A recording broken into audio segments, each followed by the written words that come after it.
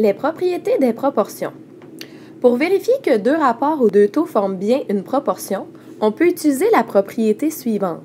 Donc, dans une proportion, le produit des extrêmes est égal au produit des moyens. Qu'est-ce que ça veut dire?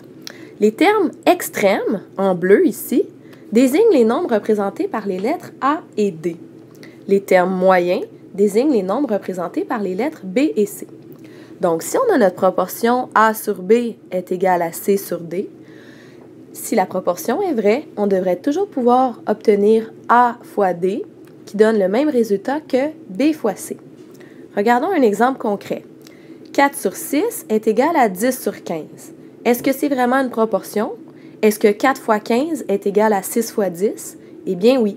Des deux côtés, on a que le produit des extrêmes et le produit des moyens donne 60. C'est grâce à cette même propriété qu'on a développé une technique de calcul très efficace pour trouver une valeur manquante lorsqu'on connaît les trois autres. Ce truc porte plusieurs noms selon les générations.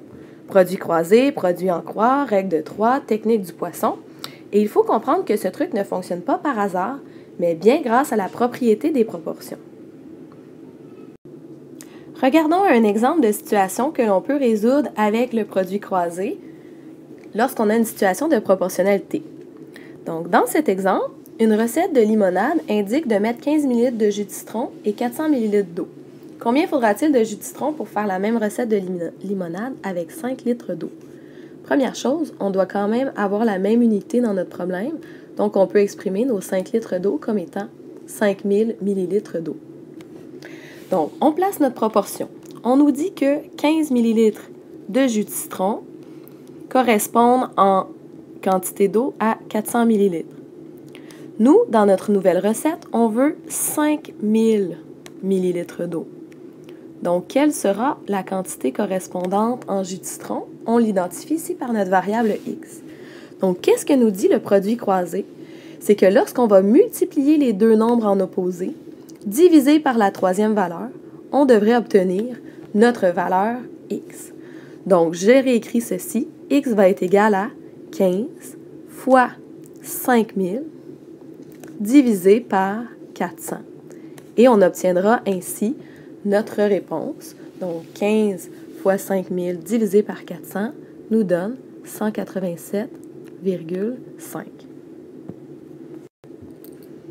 On a donc que la réponse est 187,5 millilitres de jus de citron.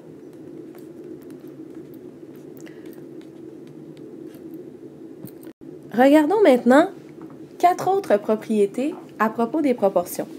Donc, ce qu'on nous dit ici dans la propriété B, c'est qu'on peut intervertir les moyens pour former une nouvelle proportion. Si on utilise la même proportion qu'on avait tout à l'heure, 4 sur 6 est égal à 10 sur 15. Qu'est-ce qu'on remarque? C'est que si on intervertit ces deux valeurs, on obtiendra une nouvelle proportion qui est vraie.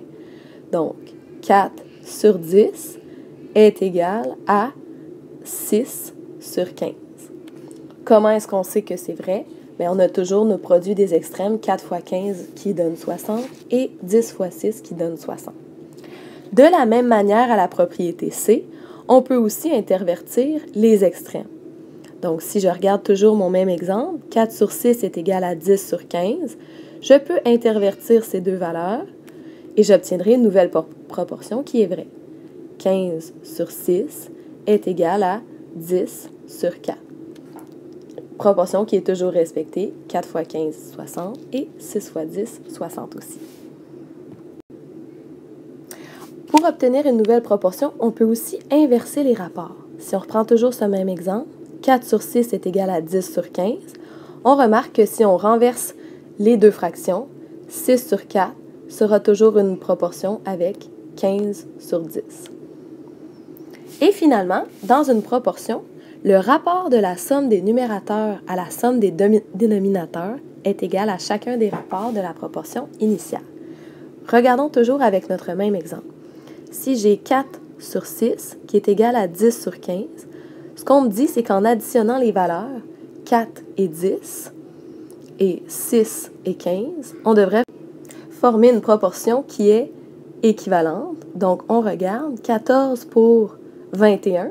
Si on simplifie toutes ces fractions, on verra qu'on a toujours le même rapport respecté de 2 sur 3. Donc, on a bien formé une nouvelle proportion qui est équivalente à nos deux fractions du départ. Voilà.